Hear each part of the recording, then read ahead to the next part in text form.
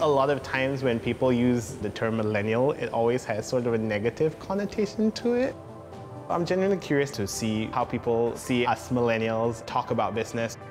What do I think about the millennial investor, uh, I myself am not an investor, but maybe if someone looked at it and thought, oh, it's about millennials who invest their time in discovering new trends and things that are viable, I think that works.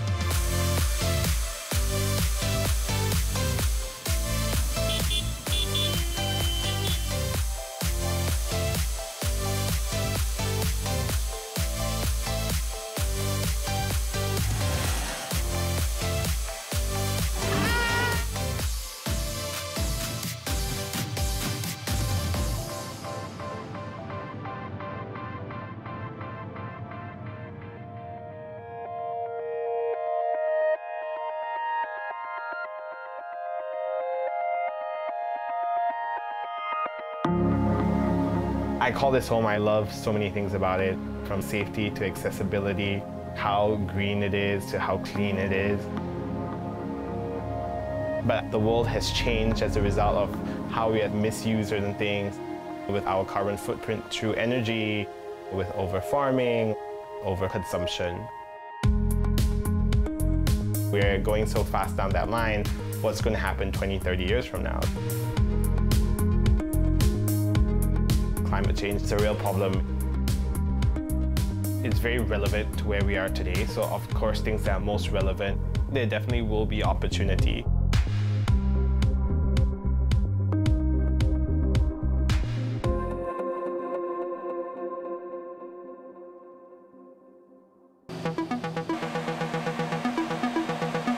This is pretty big space, actually. It is. It is Um, rather confusing as well.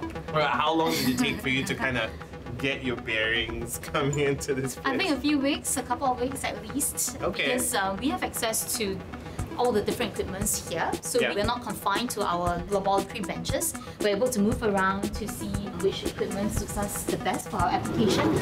I feel like I'm back in like chem lab in secondary three, which kind of gives me the creeps because I did really badly. Right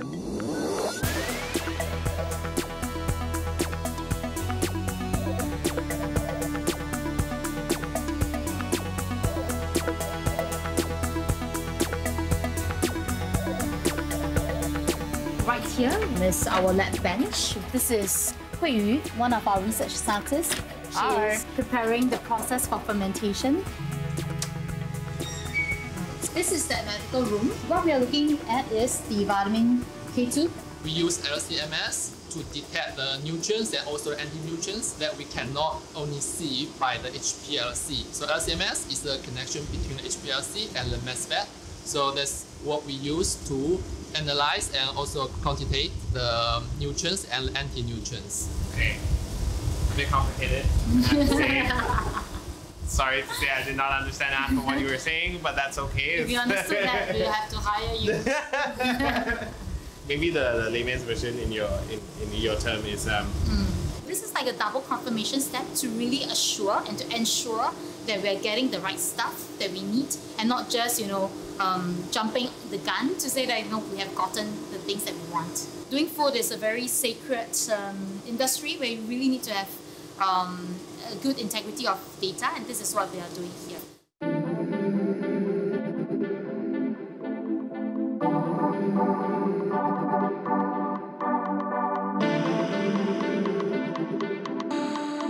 Essentially, what you're trying to do is get us to be able to absorb nutrients from food better, quicker. Uh, how did that come about from an idea perspective? I'm business trained. I had the honor and the privilege to work with different food companies. Um, from there, I observed that there are a lot of inefficiencies within the food supply system. So when we look at efficiency and sustainability, absorption naturally comes to mind because uh, people don't really know that what you eat is not equivalent to what they absorb. But if I could just get you to absorb just 50% more of what you are currently eating, um, we don't need that much food to feed the world. We just because it doesn't translate into health anyways. So we look at it from the point of view of nutrition. We liberate the nutrients for your body to be able to absorb.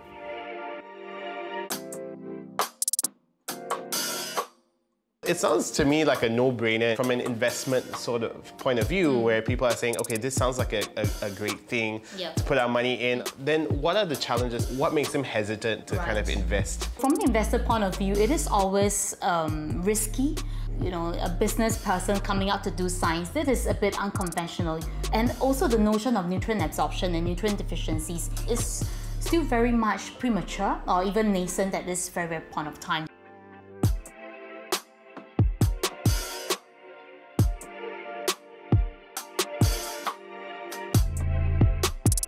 Even when we talk to food manufacturers at the very beginning, the chief uh, technical officer would always tell us that I didn't even know that there was this presence of anti-nutrients that are blocking the absorption of my ingredients and all. People are familiar with, you know, just fortifying. So if this item doesn't have enough iron, I will just put in the chemical synthesized iron. If this item doesn't have the vitamin C, I'll just put in more chemical vitamin C. So for investors, um, at their point of view, if no one is really ramping up and talking a lot about it, then perhaps it's not a problem um, Right. that is so urgently needs to be solved.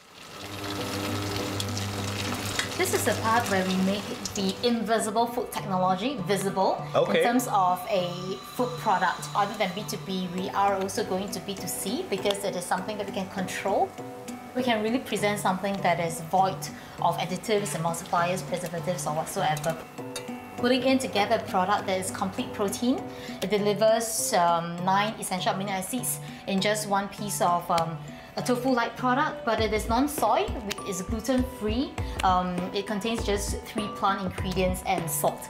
That's it. So, but this is just a beta version. Okay. Uh, wanted to try? Maybe give us some comments. I feel like everything you've said is kind of a checklist of people who have their like nine amino acids, gluten free, like they're take, taking the check off the box, especially for those without soy. But let's let's go for it, Sarah. I'm both excited and nervous at the same time. Right. Is that how I should feel? is that how it is? I think you should have a whiff first. Uh, Sarah Okay. has painstakingly prepared. It actually smells good. Right. I know. I, I'm, I'm not gonna lie. Are you gonna eat it with me? I think so. Cheers. Cheers. Cheers. Okay. You like it? No. Like to be honest. To be honest, okay, like I'm not gonna crave it in the middle of the night. Hmm. But if you add some like sweet and sour sauce Mm-hmm. and some like chili, Hmm. I could eat this no problem. You address both the B2B and the B2C. Hmm. Moving forward, how do you make that a profitable and sustainable business? I think commercialization is the key. It cannot just stay in the laboratory forever because all we have is just operating costs and expenses.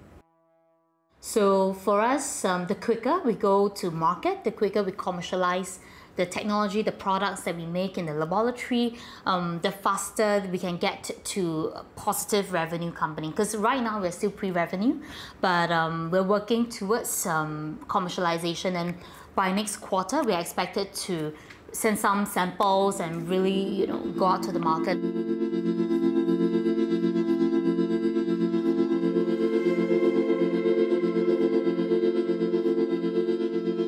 Sustainability right now is a trend. How would you describe the impact that investors can start making into the space? We are specialized in, in food and feed technology. The food industry, the way it has been built over the last 50 years, it has a lot of negative impact on the environment.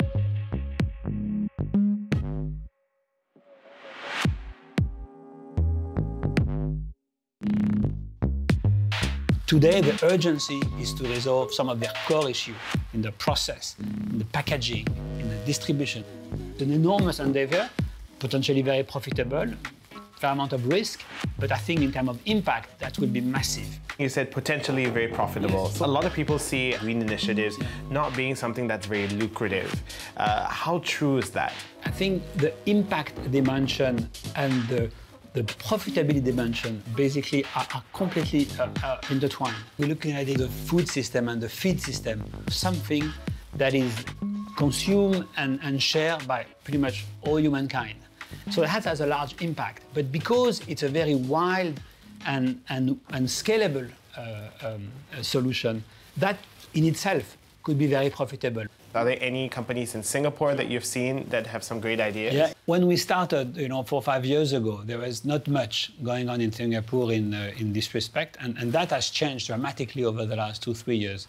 Uh, our pipeline of Singapore companies have grown up, you know, uh, fairly, fairly strongly. Obviously, the help from the government is helping, but I think more than that, I think there is people understand that the opportunity is just enormous.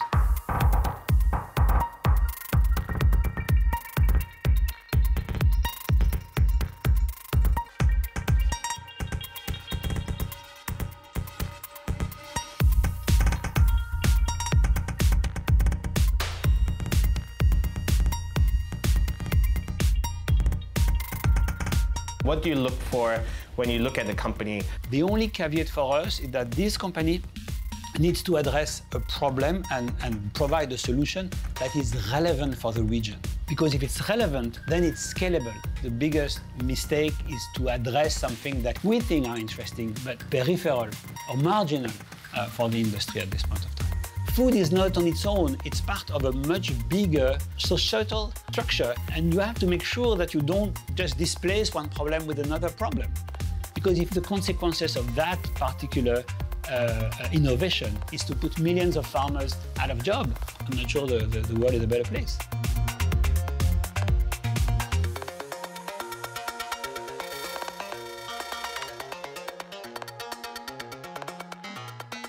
Welcome to Bollywood Veggie. I hear they've got some jackfruit, uh, so we're gonna try and find some.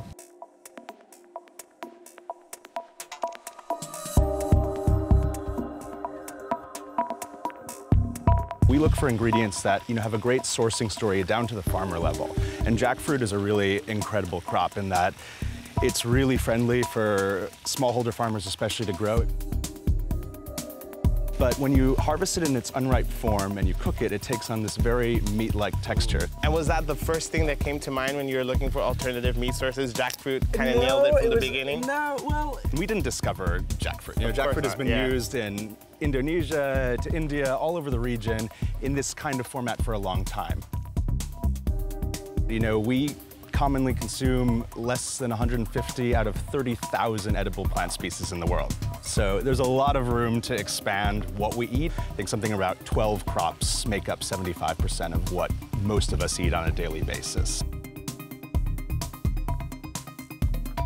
One of the interesting things about jackfruit is that we don't really need to plant more of it. Pretty much anywhere in a tropical setting where you'll see a lot of other things growing, jackfruit will just pop up and grow. It requires very little water. You don't need to add fertilizers or pesticides. It's one of the highest yielding crops in the world. And, and speak of the devil. Yeah, right here, the jackfruit. Looking pretty majestic, if I may say so myself. Exactly. These are probably too mature for what we'd be using. We tend to use it in unripe forms. The okay. sugars haven't formed. This one looks like it might be something we would use. It looks a bit smaller. The See, tiny one. Give that a few weeks or a month, and that'd probably be right about where we would want it to cook.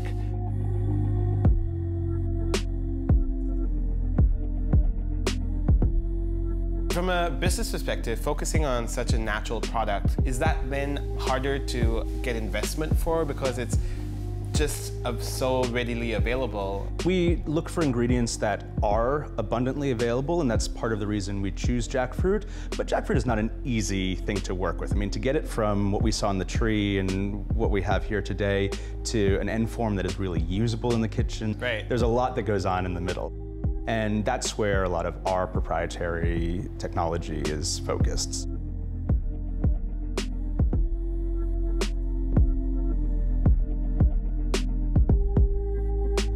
Plant-based is a pretty hot space right now. There's so much opportunity in the Asia-Pacific region. People will want more whole plant options. They want more convenience-focused products that still have a health profile, and, and that does seem to resonate with investors.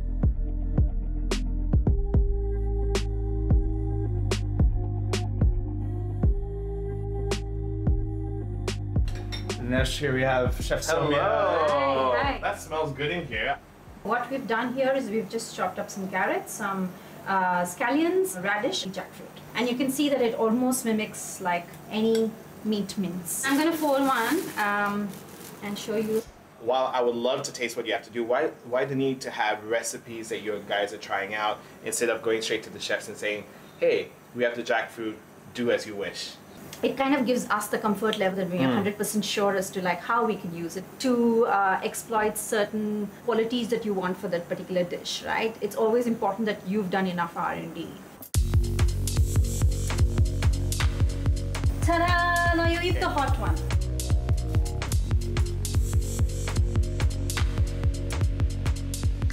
I wouldn't know. it was jackfruit. You would fool me. If I didn't know this was jackfruit, I would have no idea, honestly. fantastic mm. You think to be able to scale and grow the business, you have to be a little bit more widespread, more in Southeast Asia, mm. Europe, and beyond. Singapore is a great test and launch market for us.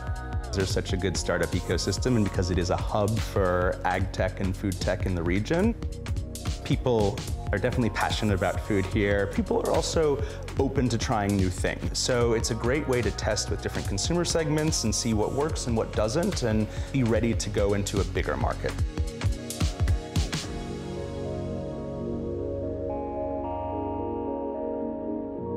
I think he's probably at the first step right now. Jackfruit as a singular object that you provide is probably a little bit too restrictive or limited. In this day and age when uh, there's a lot of tech elements involved, it might pale in comparison. But using something that's existing in, in abundance also means that potentially your cost is lower. That may be more attractive from an investment standpoint. Compared to trying to bank on something that's new or a new technology that hasn't been tested.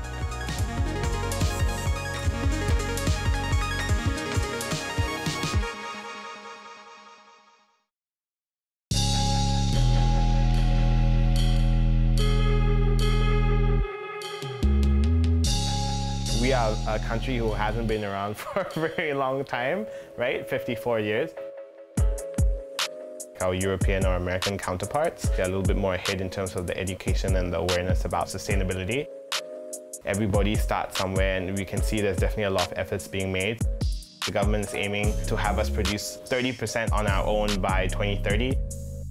They talked about solar energy accounting for 4% of all energy being produced by 2030 as well.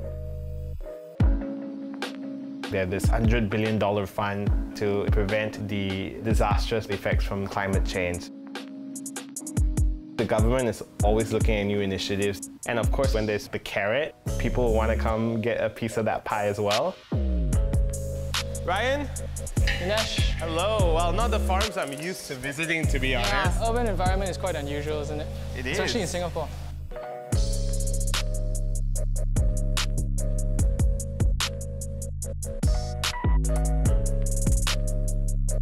What we're trying to do here is establish symbiotic agroecologies. What that means is that we're trying to make food work for each other.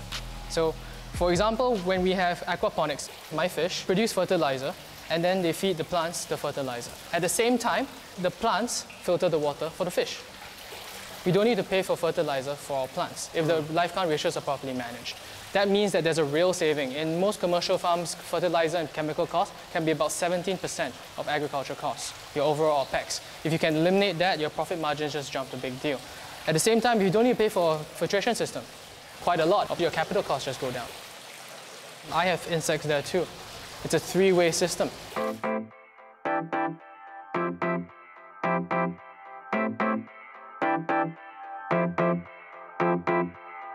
So these are black soldier flies. I'm gonna put one of these Sure. guys. Let me pick out a few for you. Oh, look at that. So these Trying to get to the end. don't eat it by the way. yeah. I wasn't planning on it. These little guys feed off this. Waste chicken feed. We can use food waste from in- humans as well. These guys eat anything. But what does that give us?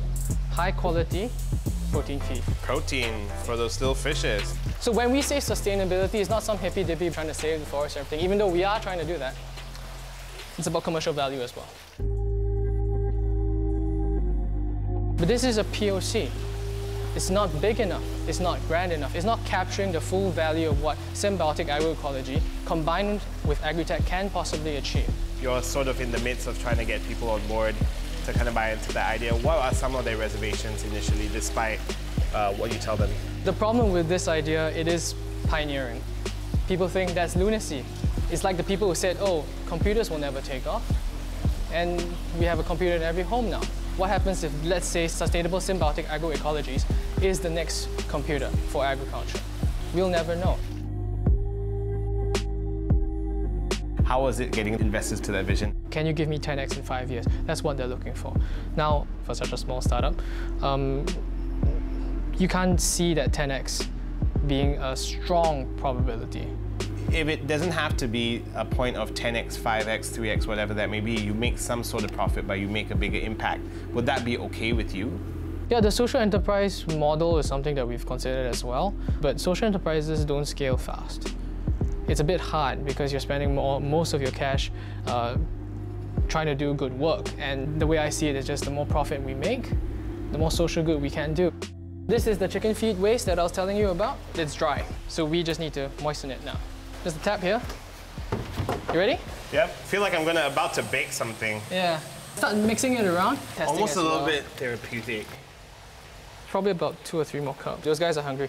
They can finish 5 kg of waste a day. 5 kg of waste a day? Yep. When they start, they are the size between my nails. Uh, that eggs are absolutely tiny. Oh, you feed them well, so. Yeah, yeah, I feed them very well. I mean, they're eating rubbish, but they don't know that. what we want to do is evenly spread it out. So, um, Hunger Games begin. do you think then Singapore will ever get to a place where we can be co competing with international markets? No, it's not viable. I, because we are so land constrained and the moment that you have to use LED lights as a pseudo light source to compact the food growing into a dense urban environment, you are swapping what is free, sunlight, for cost.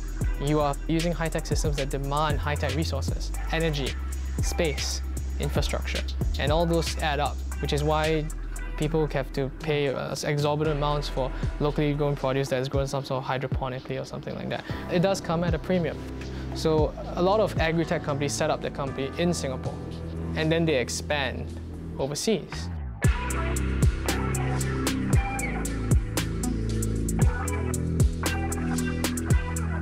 Sustainability is a long-term business. It's not about quick wins. So you need to be driven by what impacts the business can make. You're going to be driven by social responsibility because it's not just environmental impact. I think the social impact is important as well. Okay, lots of vegetables on that sushi. This one, kale, kids produce. This one also, the, I just took from there. Say any garnish, produce him. So the, the red leaf hibiscus, the Okinawan spinach, uh, cosmo flowers, um, butterfly pea, and coral vine as well. Try the dish. Okay. I'll let you try the, the Okinawan spinach. It's good.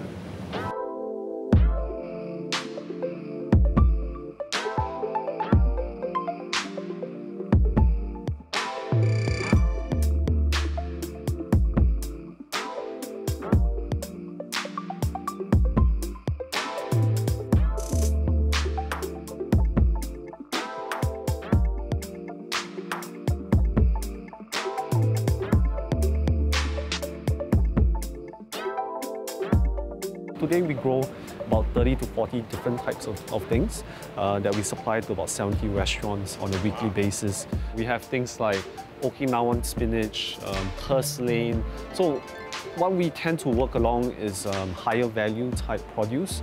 Because space is small, we need things to grow fast and can harvest quickly so that we free up the space to then grow more, right? Yes, higher value, so if you turn that around faster, it makes more business sense, I would say. It does, and over the last um, five to 10 years, um, the, the trend has been changing. A lot of chefs are really interested in using things like um, microgreens, things that are small but punchy, Right. that has a lot of flavor, that then aesthetically also looks good when they Everyone likes a good Instagram photo of their food before eating, so I think that always helps. Yeah, so it's, it's uh, riding on those trends and then uh, innovating in how we grow. Uh, there is no uh, doubt that it's one of the toughest industry. If you don't have skill, it is very hard to, um, to, to make it very viable for the long term.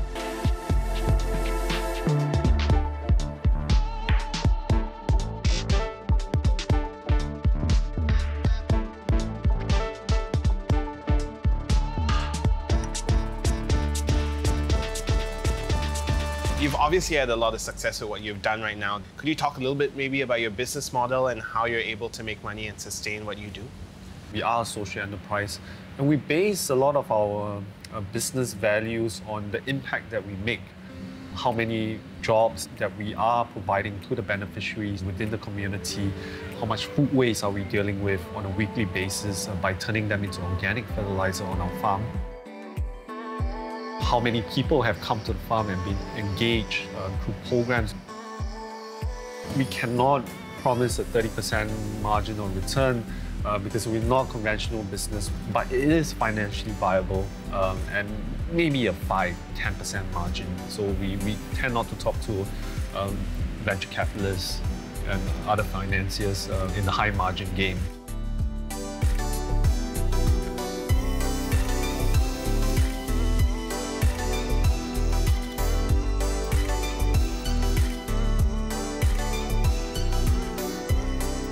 There's a lot of talk into technology, helping to transform businesses. Do you see how technology can also change and maybe help you make it more profitable? We do know that labor is one of the limiting factors in agriculture industry, but sometimes we need to look broader in terms of solutions. So instead of putting an AI robot that will then do all the seeding and harvesting work, uh, perhaps we can look at uh, adults with autism who can perform repetitive tasks. So I think it's being innovative in that social business model allow us to then address multiple impact points rather than just uh, in business. Beyond is a great example. And there has to be a place in the capital market for sustainable businesses. You just have to line up the whole ethics idea with the business for it to go hand in hand. Historically, we've seen businesses being able to benefit from inclusivity or diversity and an idea like sustainability is, uh, is the same thing. It's about having those values uh, and putting it front and center and shape your company around those things.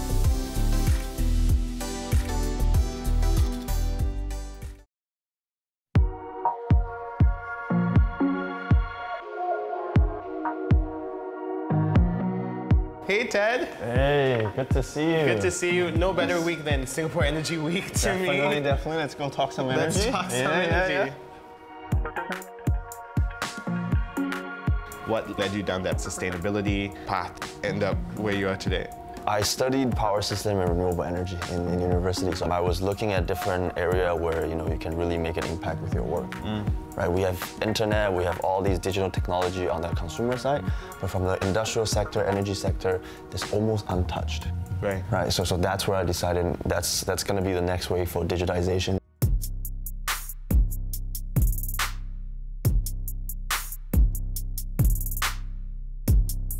So tell me a little bit about the technology that you developed. Our focus is how can we help companies, larger companies, manage their energy better using data analytics. So there's a few aspects of it. We first developed the sensor aspect. So instead of manually go check every component in the big buildings, um, you now deploy sensors. Once the sensor is there, every data will be wirelessly collected to a centralized cloud system. And from that, you know, you have recommendations telling them what other things you can do better that will help you improve efficiencies.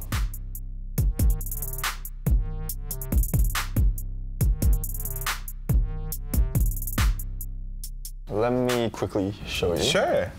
So there's different equipment, etc. They all have their own domain knowledge.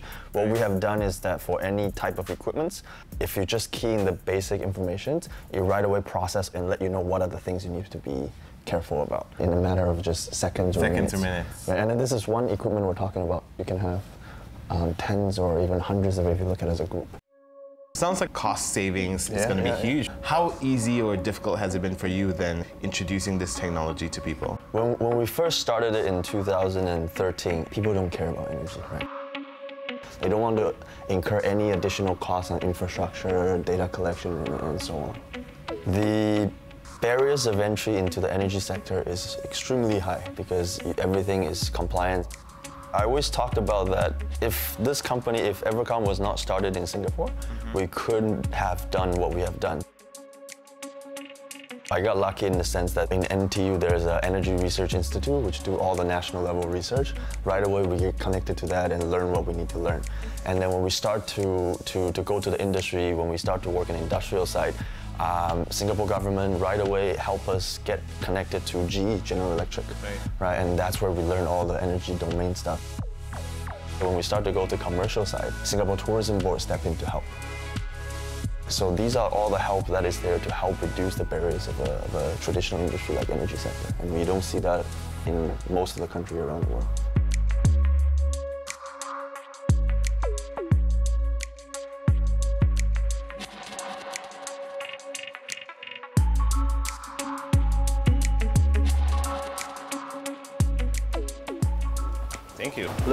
Introduce you to Darren, who's the chief engineer here. Hi, Darren. Hello. Nice to see you. Nice to see you. Thank you. you for having us. Yeah, yeah, yeah. Yeah, so I, yeah. we work very closely with him to develop the whole system, pilot everything. So definitely he's the brain that we picked to okay. the algorithms. So has it been really beneficial for you guys yeah, since you've employed um, the technology? Very beneficial to our chiller plant uh, and our technician. Shall we go take a look? Yes, please. Let's go.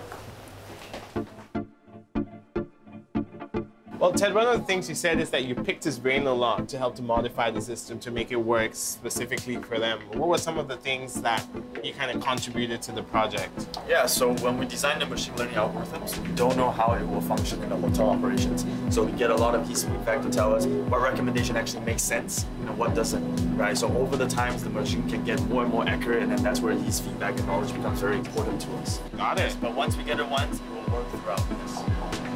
Okay, here we are. Okay, um, perfect. Let's go. Wow, so this is where oh. everything is sort of stored. So this is the chiller. We have a called install sensor. This one is a temperature sensor. This is a flow meter. Yeah, so the data will transmit to here. So you can see the reading here. What are some of the benefits that you were able to see from implementing the system uh, in the chiller room? The digitization is good for the offline uh, monitoring. And also we know where is the efficiency and uh, whenever we want to do the chiller plant upgrading, so we can use this real-time data to satisfy our capex moving from you know manufacturing and now more commercial building. What are some of the other plans that you have? I think collaboration is key moving forward. Okay. Right now, we're headquartered in Singapore, but we have offices in Thailand, uh, Malaysia, Taiwan, Myanmar, um, and then we're setting up in Israel and Europe next year. And the reason that we set up that way is actually we don't have a choice. What we learned over the years is every country has their expertise. If I want a security expert, Israel is the place to go.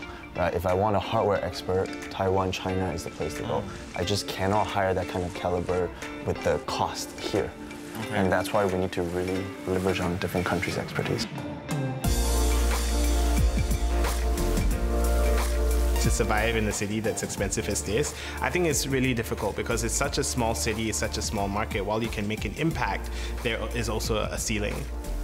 So I think being uh, you know, viable in the long term and scalable, you need to have ambition beyond Singapore. Kind of get out there and build the business to be bigger than you think it could be.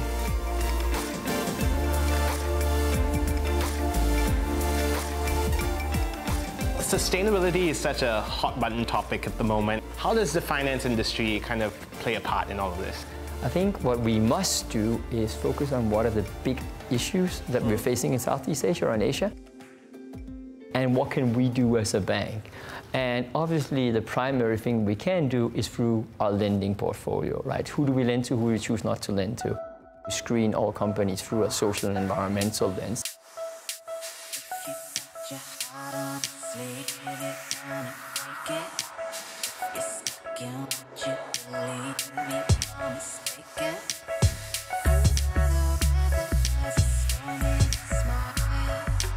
So to answer your question about what can finance do, bank can incentivize you. What are some incentives then does a bank provide to companies who you know make those green choices or sustainable choices? On the product side, you may have heard of ideas such as green bonds, green loan, and ESG-linked loans.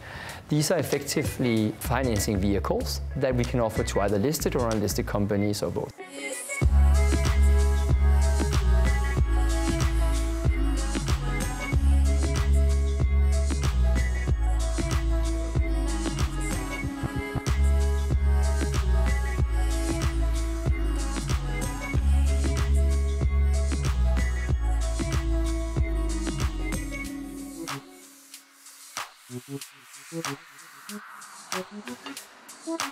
If we're talking about the green bonds and green loans, then they invite a conversation with investors who want to buy into green assets, and you have to provide the transparency to give them that information, so it forces a conversation and some, instills some rigor in you. We've yet to see the funding benefits really coming through of that. But the ESG-linked loans is an interesting uh, evolution. So this is where the interest rate of your loan is actually directly correlated or pegged to your ESG performance, your environmental, social, and governance performance. Here's a real incentive, right? Because if you improve in your scores, you will actually get a lower interest rate, and vice versa if you don't do so well.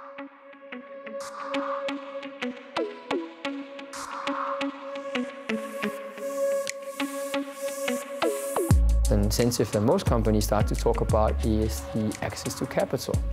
As capital providers, whether it's lenders or, or financiers, equity financiers, if they start to have these requirements, if you want to get access to that pool of capital, which is rapidly growing, you better get your house in order. Yeah. How do you think the bank can further grow to promote this? Right now, all the stuff that we talked about was in the corporate space, right? Mm. There's a whole segment around the consumer side which is being under under thought of, if I can find a lack of a better word, right? So if you say, listen, I, I want to be part of this movement, but where do I put my money so I know they go into good use? You know, that, that is really a space that very few banks have grabbed. So I think you'll start to see more of these types of features like green deposits or retail investment products.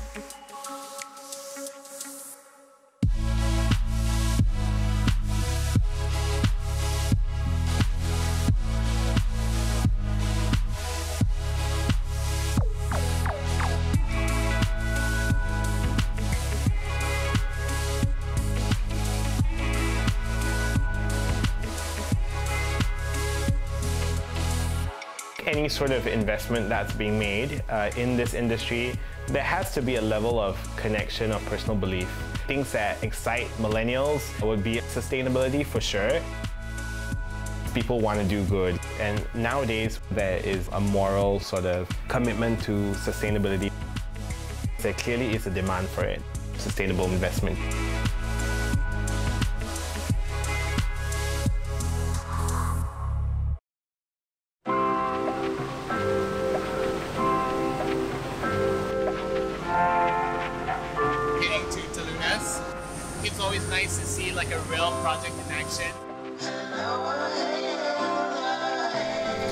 Hello. Hey, welcome. Thank you. This is definitely eco-friendly, I take it. Yes. so we're off to Telunas? Yes. How long is it going to take us? 90 minutes. All right, so we have plenty of time to, to catch up.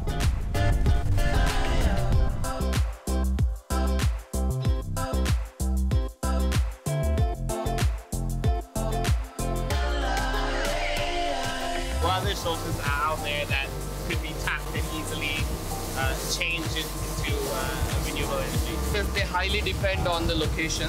So for this location here, for Telunas, a solar, diesel, battery hybrid, that's what makes sense. We choose the energy sources in such a way that the cost of energy at the end of the day is the lowest for that given site.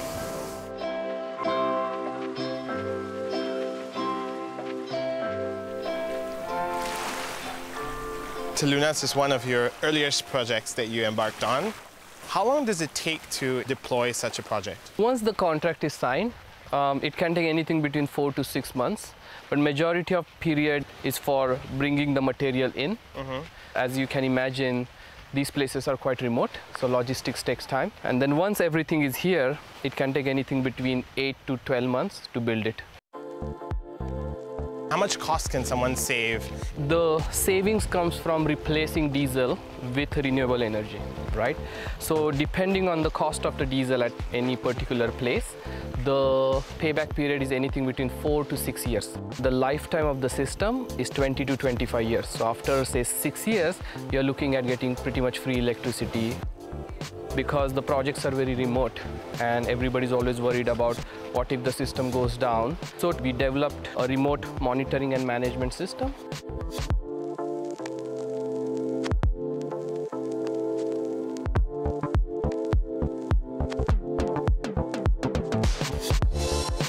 On the way here, we saw some villages.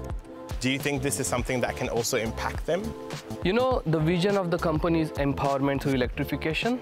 So we want to empower not only the businesses, but also the communities. We are already involved with our local partners in Philippines, in Myanmar. Indonesia is the largest market for community electrification. What we are waiting for, obviously, is for the streamlining of regulations, right? Because once you get involved into providing electricity to the community, the regulations come into play. That's what other players are waiting for. But once that's straightened, there will be a lot of microgrids popping up in communities all over Indonesia, Philippines, Myanmar, all these places. The renewable energy microgrids is the next big segment uh, for renewable energy. It's multi-billion dollar market right here in Southeast Asia.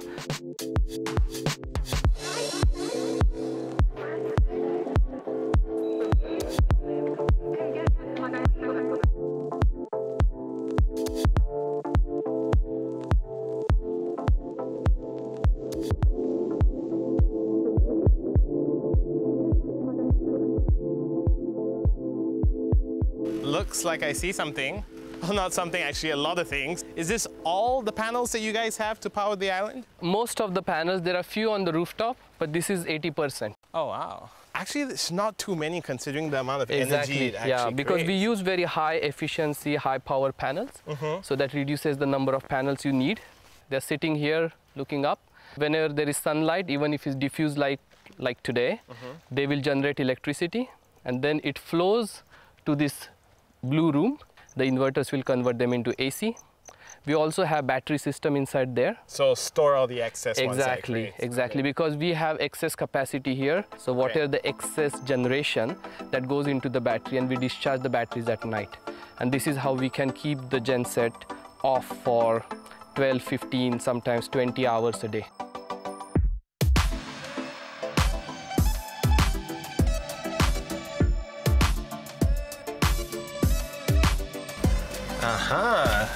This is where the power is stored. So what you see here, these are the lithium ion batteries.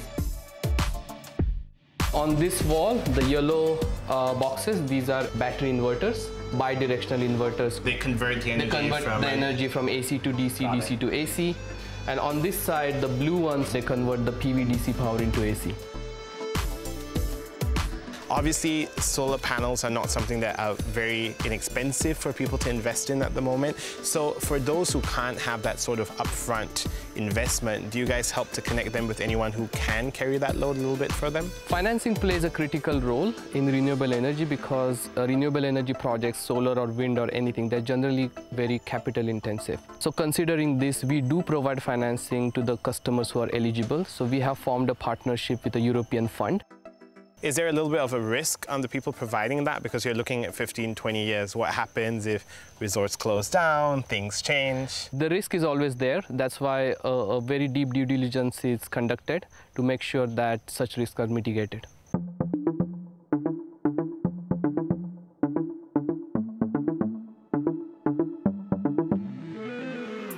What was the immediate problem that you saw that you felt this needs addressing? Typically, you were used to build a, a large power plant or coal plant that require 500 million.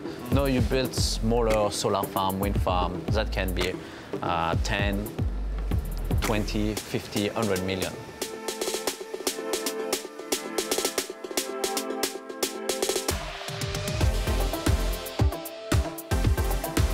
Because these projects are smaller and because traditionally the finance system has not been used to finance smaller projects, these projects have really have hard time to secure the investment to get built.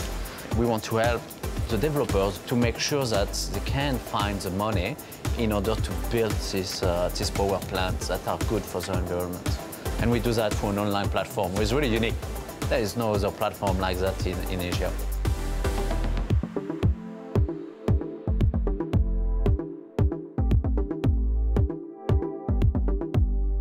Even Uh, have the number of shares as well. Yeah, we see, uh, we, we try to show what is the investment opportunity proposed by the developer to the investor. So how much money do they need? What do they offer in exchange? Describe a bit the project.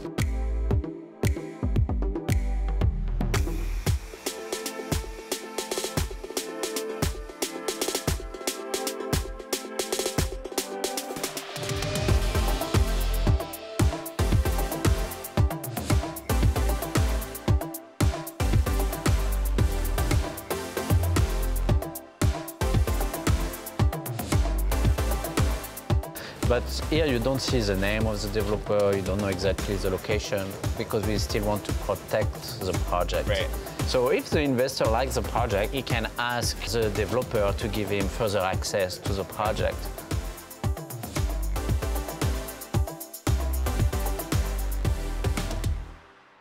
What's the kind of ROI people can expect on Oh, a yeah. project like that? The projects that we list on the platform typically have an IR between 10 and 15 percent. Okay.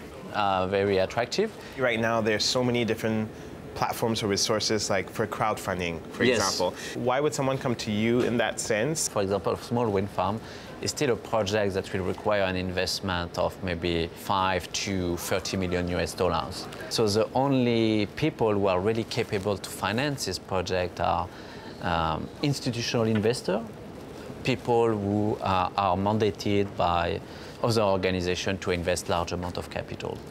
Crowdfunding, it's a very nice idea. I would like to be able to associate all the society in this project, but in practice, it's, it's, uh, it's not really uh, actionable. I like this one. This one is in India. It's on the roof space of a building. Sunset, beautiful building. You can tell the dream in this way much more effectively. it seems so simple in, in theory, right? Like you build a platform where people can meet to make a positive change. So I thought that was fantastic. Southeast Asia is a place where there's a lot of change that can be made. There are also a lot of opportunities that will present itself as a result of that. Better ways to process or to eliminate food waste, plastic waste, how we can be cleaner in that whole manufacturing process. From a corporate level, there are so many things that we can do more responsibly. You know, maybe I'm sitting here being a little bit naive, but I always believe at the end of the day, the way businesses should look, what they want to achieve should be about adding value to people. And I think sustainability has that ability to make that large impact.